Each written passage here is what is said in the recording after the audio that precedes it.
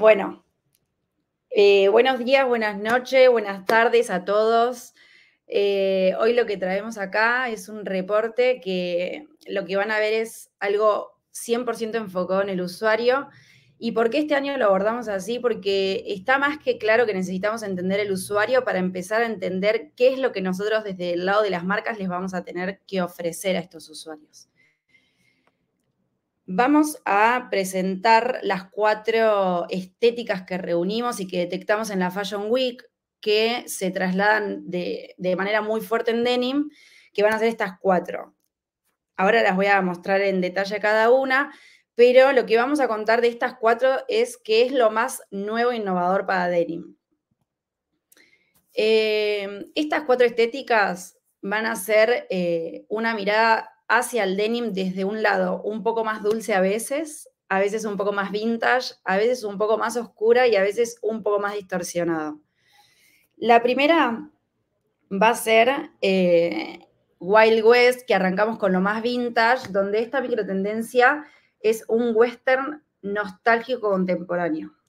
Esta estética no va a estar citando solamente al pasado literal, sino que lo va a citar y lo va a reinterpretar. Por eso Em, seleccionamos algunas características como para que ustedes lo tengan en, la mente y eh, a medida que vayamos mostrando todas las imágenes, eh, les quede como grabada el, espíritu de esta micro. Eh, una de las características va a ser que es súper disruptiva, es súper desafiante, nostálgica, pero con ese, esa pizca de lo contemporáneo. Es una, una tendencia, una microtendencia súper sofisticada y a la vez va a tener su lado moderno y lujoso. Se va a ver como este vintage desde un lado más lujoso. Y acá lo que hicimos fue identificar dos tipos de usuarios, dos tipos de consumidores. En este caso, el primero, que es este, ahora les voy a mostrar el segundo, el primero eh, tiene una personalidad audaz que va a mostrar como un espíritu entre lo rústico y lo glamoroso. Y en este caso, el perfil eh, de, este, de este consumidor es un espíritu como más libre y rebelde, ¿no? Tiene como un aspecto mucho más asociado a lo nocturno. Eh, van a ver que vamos a ver mucho cuero tornasolado, eh, pieles, brillos, siempre combinándolo con lo que es denim. Y el otro, como el lado B de, esta, de este consumidor, va a ser un usuario que es como amante de la vida urbana, de los espacios abiertos, de la vida diurna. Em, este consumidor sí es mucho más vintage y emotivo y van a ver que a través del denim se ve como este, em, este denim simulado del, del, paso del tiempo, ¿no? Mucho más amarillento. Acá lo que trajimos fue un video de Marín Serré, después vamos a dejarles el link para que puedan ir a verlo con sonido, que está espectacular. Eh, pero lo trajimos porque ella en este video transmite un poco esa nostalgia, pero desde un lado más moderno, y nos pareció que estaba bueno traerlo para que ustedes puedan ver efectivamente cómo se hace, cómo es el armado del vaquero típico y cómo lo, lleva ella a un lado más moderno. Em, bueno, con todo lo que es producto, eh, todo, todo, lo que es producto en accesorios y pasarela se va a reinterpretar y se va a traer al 2025-2026 para el día a día, eh, atravesándolo por la comodidad y la funcionalidad, ¿no? Porque hoy hay que adaptarse a nuestra nueva realidad. Así que bueno, siempre la idea es mantener la estética, pero dándole una vuelta de rosca un poco más moderna.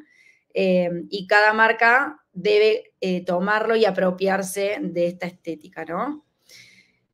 Acá vamos a ver en pasarela el cruce entre esto más rudo y este, y este perfil más sofisticado, vintage, emotivo, donde se va a ver ese cruce de lo clásico con lo moderno, ¿no?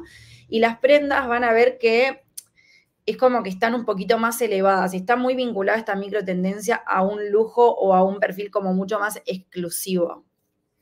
Pero siempre todos los looks van contando como medio una historia.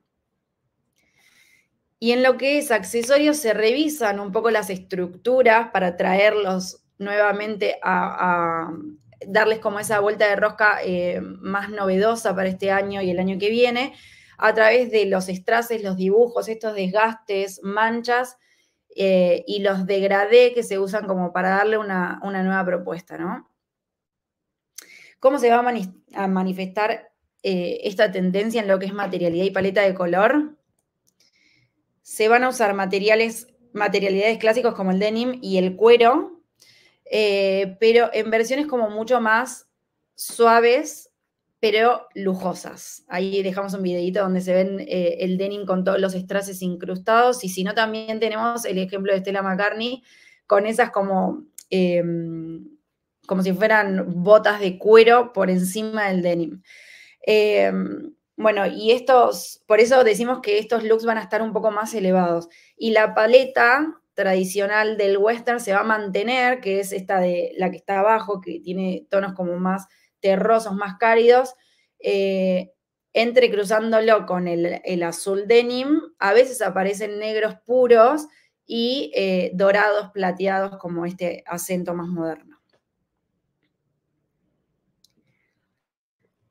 Bueno, acá lo que trajimos es, eh, son varios casos de que queremos decirles que no solo nosotros lo detectamos, sino que está chequeado, que está pasando.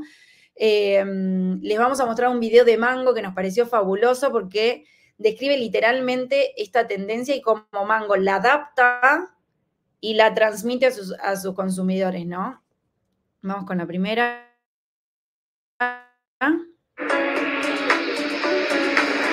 For this trend, I'm talking directly to all the girls that lived in cowboy boots this summer.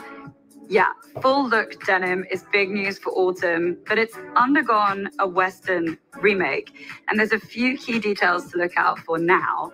Number one, tuck your shirt in like a true rodeo star. Look out for top stitching details and don't forget a really great brown leather belt for that cinched silhouette. I'm also not going anywhere without this faux cowhide tote, which is going to be my work bag this season.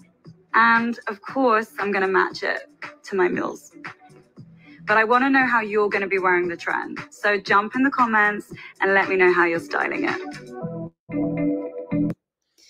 Bueno, Eh, también traemos la campaña, nueva campaña de Ags inspirada en, este, este, en esta estética cowboy, eh, pero que tiene eh, upcycling en denim, ven las botas que están abajo, y después tiene lo que es la, estética cowboy en, en, estas costuras y en estos bordados bien característicos, pero está bordado con cuero regenerativo. Y también traemos esto es como una bajada demasiado comercial, pero queríamos llevarlo a este nivel para que lo puedan ver en las típicas eh, y conocidas gorras New York Yankees. Lanzan la nueva versión de sus típicas gorras, pero ahora con el ala grande, haciendo alusión a la microtendencia, ¿no?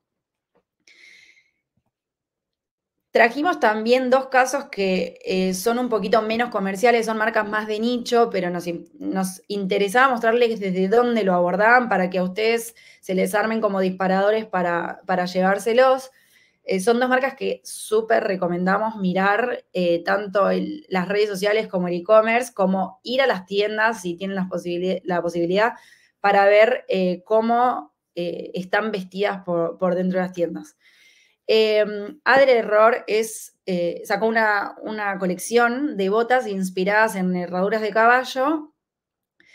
Y lo que hacen ellos es tomar esta microtendencia y adaptarlas dándole su toque personal, donde ellos, si ven las, colecciones anteriores, no son nada literales, sino que lo van a, lo van a adoptar y, y, le van a hacer una vuelta de rosca y este es el guiño que ellos quieren traer. Y en retail se ve como esta herradura de caballo en forma de alfombra y se ve como un torso de caballo también eh, en yeso gigante en el medio de la tienda.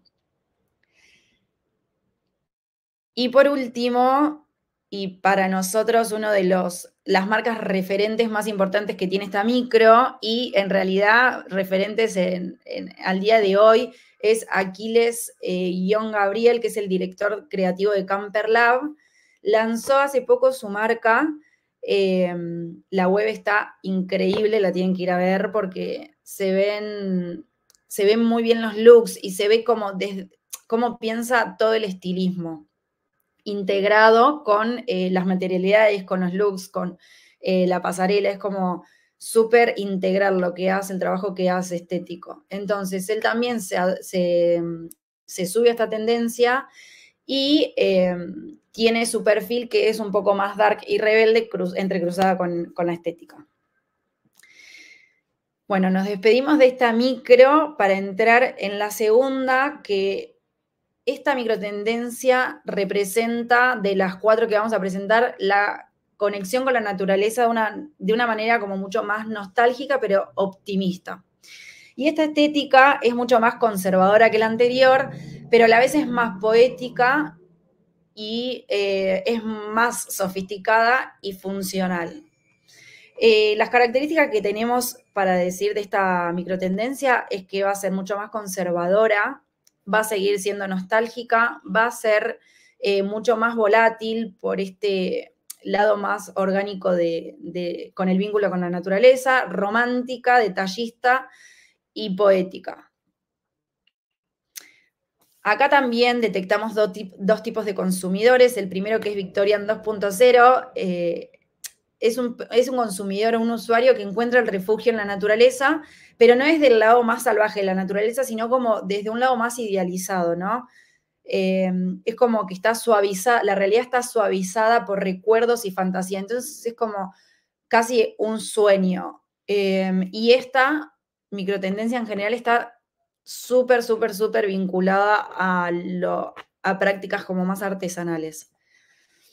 En cambio, este segundo consumidor va a ser el Dark Victorian, que es un consumidor que es poético, pero no es tan positivo como el anterior, no solo por la paleta de color, sino por las materialidades que usa, por el estilismo en sí y la actitud de, las modelos y, eh, que, llevan, que llevan puestos los looks, ¿no?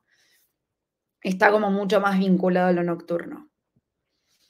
Los productos eh, van a combinar lo, ornamental con lo funcional, ¿no? Entonces, eh, la idea es evocar esa época pasada, pero traerla a la vida moderna.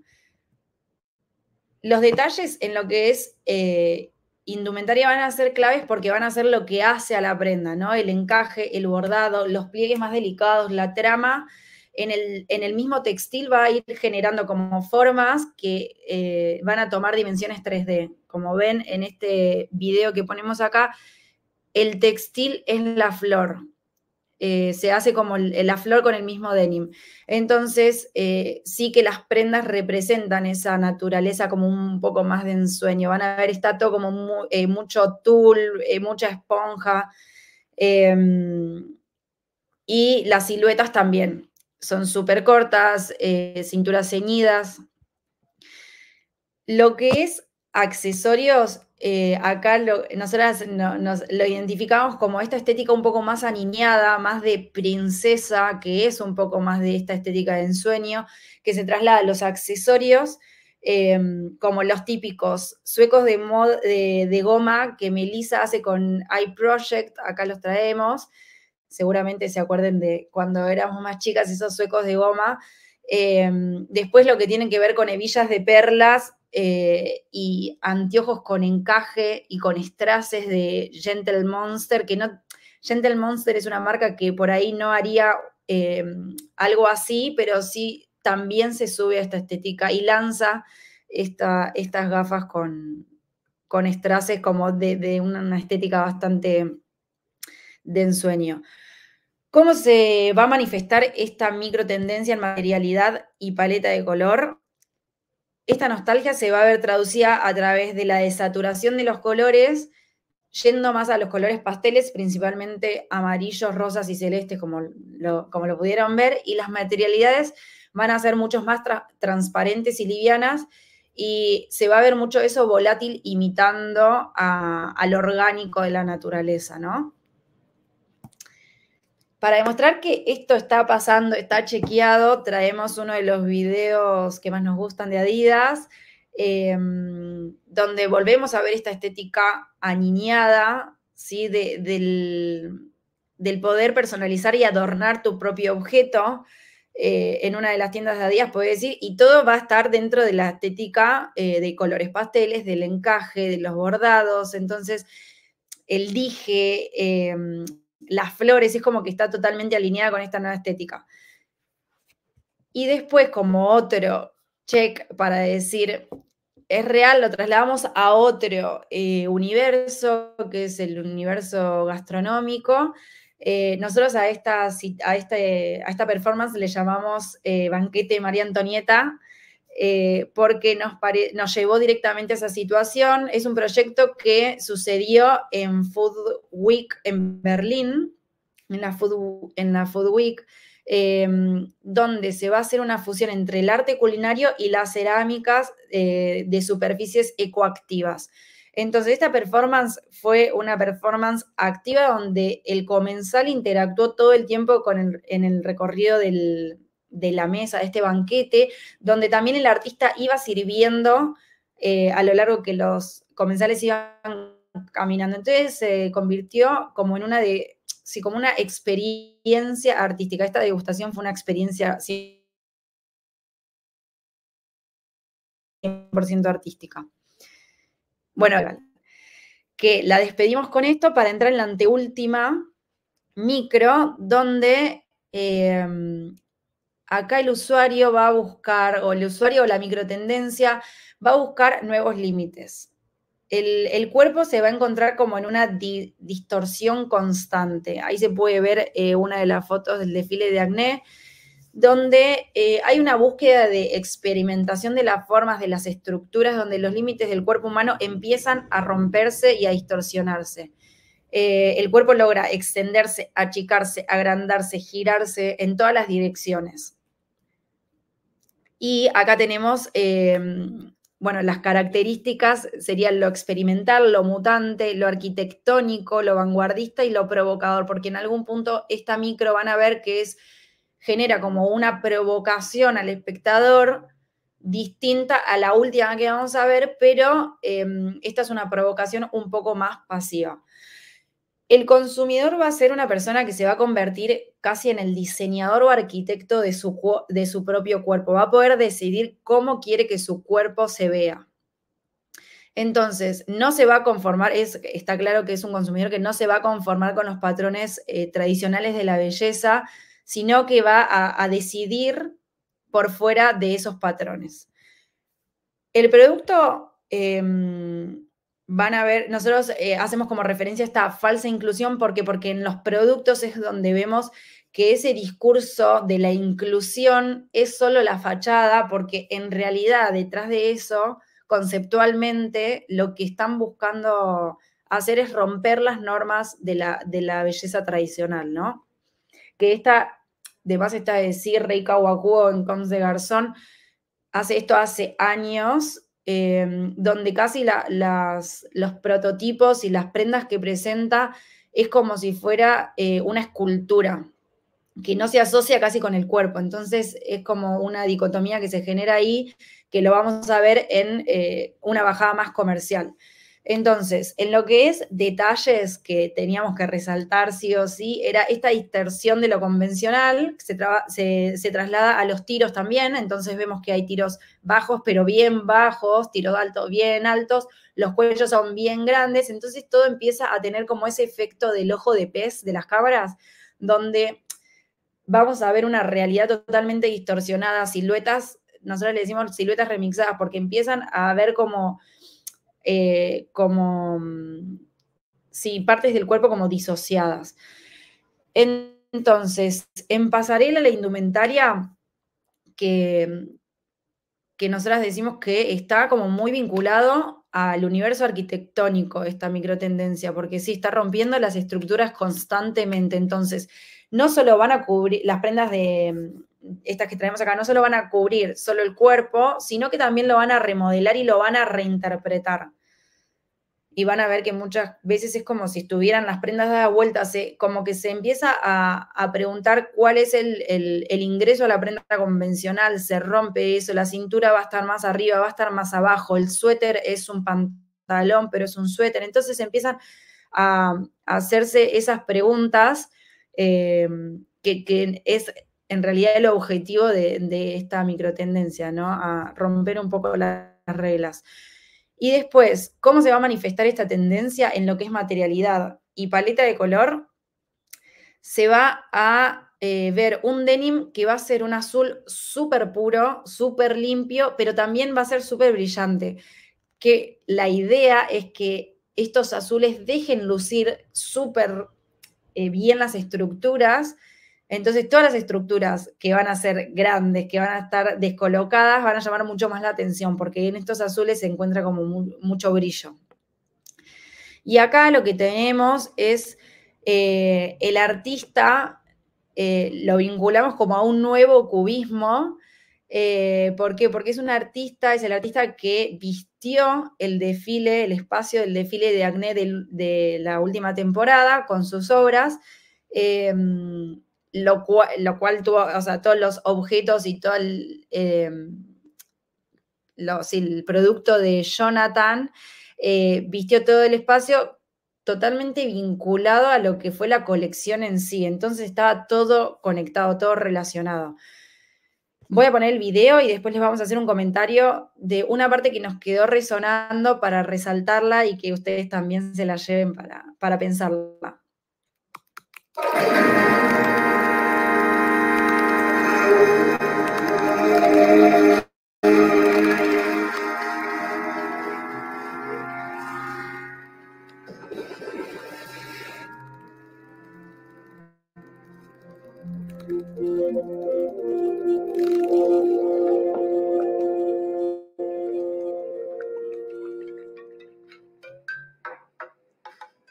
Sort of like a soft picture frame. This person is shy, but feeling sexy, but also they're a bit like maybe sad. It's kind of like a mesh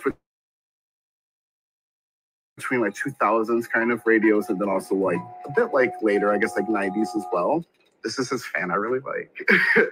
so I really want to put a lens on some of the more interior moments, these more like domesticated and, you know, soft, tender moments too. I think it's really important to see these images, you know, of people who look like me, like my friends and my family. I think just from my lived experience being a black person, a gay person, uh, a fat person, a person, you know, who identifies with so many experiences of the human experience that you kind of have to, if you're going to survive, you have to learn how to break the rules.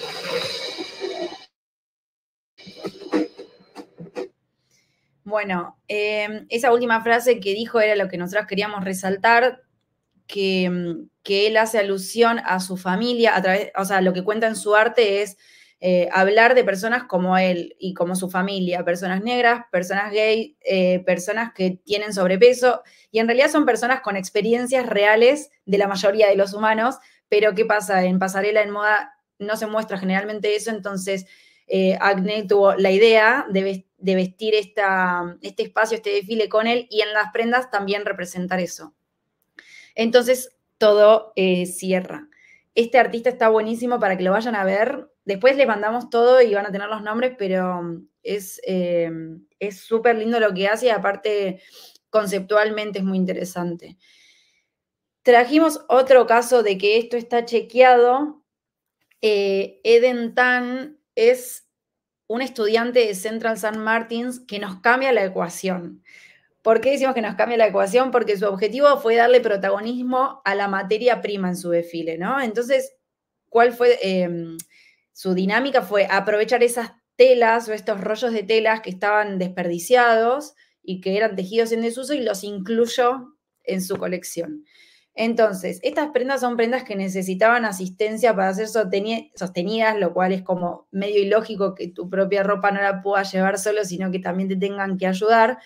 Em, pero también cumple con esta, esta norma del efecto ilusión óptica, ¿no? Como que empieza a entremezclarse un poco de qué es la prenda, la prenda nos viste a nosotros, nosotros vestimos a la prenda, ¿sí? La, el, la idea es como un poco marearnos en eso y eh, nosotros con Nani decíamos, esta, esta micro es como casi, para vestir estas prendas tenés que tener un manual de instrucciones porque no se entiende bien quién está vistiendo a quién.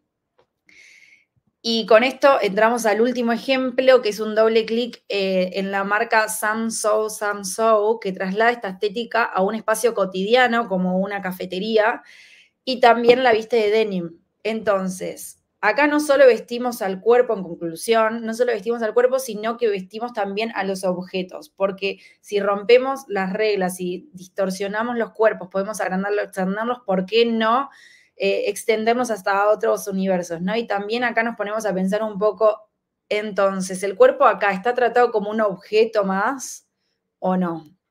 Ahí nos quedamos. les dejamos esa pregunta para que se la lleven ustedes.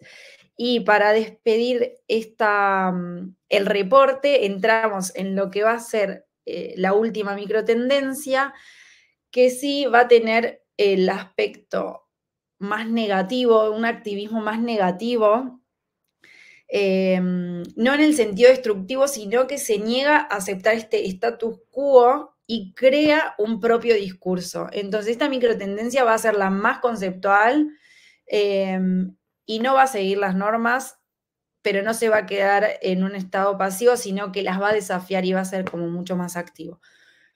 Este consumidor eh, va a ver al denim como un lenguaje que habla de lucha y resiliencia. Y este consumidor va a preferir mucho más eh, el caos, pero un caos controlado. Por, si lo ven en, las imágenes que vamos a ir pasando, es un caos súper controlado, eh, como súper limpio estéticamente. Y se va a mantener obviamente esta estética desafiante, donde es como un, es, un, reclamo o un grito súper directo, ¿sí? súper obvio, súper evidente, y está totalmente diseñada claramente para incomodar y cuestionar y abrir debates. Es imposible que vos veas una campaña de estas marcas que trajimos y no te quedes mirándola y analizando un poco más allá de qué es lo que quieren decir. O sea, no, no son eh, marcas que trabajan como lo inofensivo, sino que son, em, el mensaje es súper evidente. Eh, y en producto, eh, lo que queremos transmitir es que no, no busca la comodidad, no busca ninguna belleza tradicional, eso está más que claro, em, pero cada objeto, cada accesorio, cada mm, prenda tiene un mensaje, está cargada de mensajes, ¿sí? Entonces, em, además está decir que el denim en esta micro es como un aliado esencial porque se va a volver, se va a convertir como en la herramienta principal, no es, no es un simple textil más, sino como que va a ser uno de los principales textiles en todas estas marcas.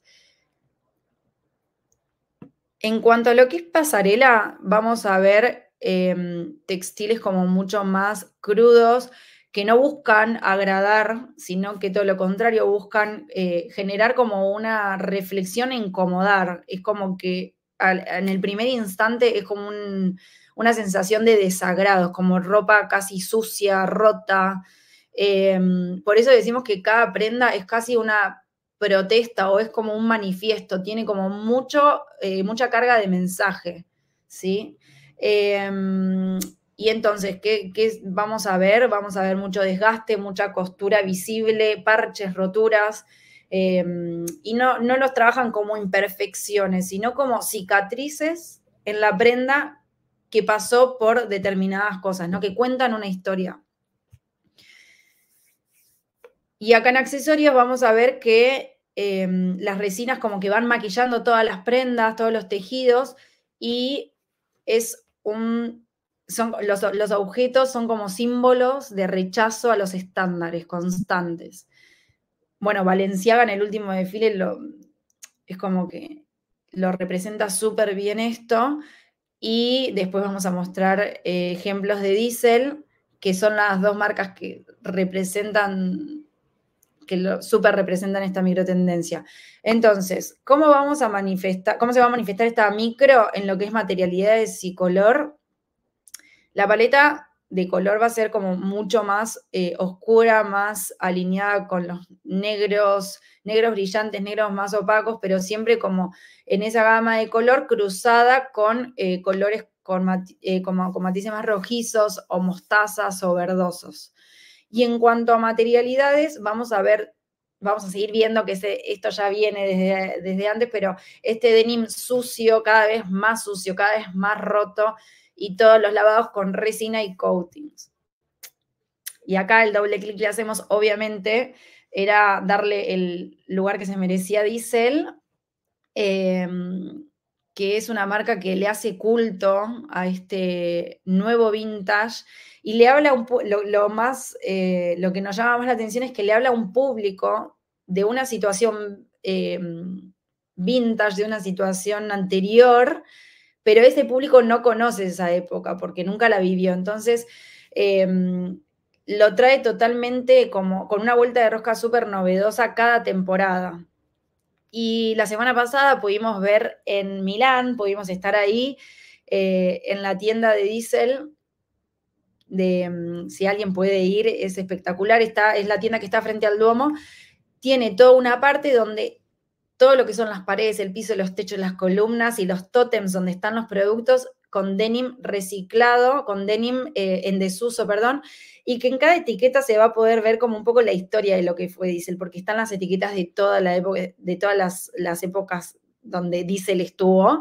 Entonces, es espectacular y, y, es espectacular como esto se traslada a lo que fue el último desfile, que acá lo vamos a ver, que el escenario fue hecho con 14.800 eh, kilos de resto de denim y la idea era resaltar esta belleza en los desechos y su compromiso con encontrar nuevas formas de reutilizar el material. Entonces, una vez que terminó el desfile, todo el escenario se vuelve a recoger y se vuelve a aprovechar para hacer prendas. Entonces, es 100% eh, circular lo que hace la marca. Bueno, este fue el, último ejemplo, la última micro, así que espero que les haya gustado. Acá lo que queremos agradecer a Fedra que hoy no pudo venir y a Ani por otra vez eh, convocarme este año para formar parte del evento que amo. Y bueno, nada, les dejamos el contacto acá y espero que les haya gustado. A mí no me agradezcan, yo agradezco a ustedes. Mira qué belleza que es esto. Estamos encantadas y enamoradas de ese material y de la pasión que uno pone también, porque la verdad es como cuando presentas algo que por más que esté muy bien el contenido, no haya por detrás esa, esa, ese brillo en la mirada, chao, olvídate. Puede ser el contenido de Elon Musk, de de lo que sea no nos interesa, pero acá hay gente que está diciendo, me encanta, vamos. Yo les dije, pónganse si gusta el material y compartimos. Y si no, va a quedar secreto con nosotros acá. No, no, pongan, pongan y se los mandamos todos. La verdad, quedamos todas enamoradas del material.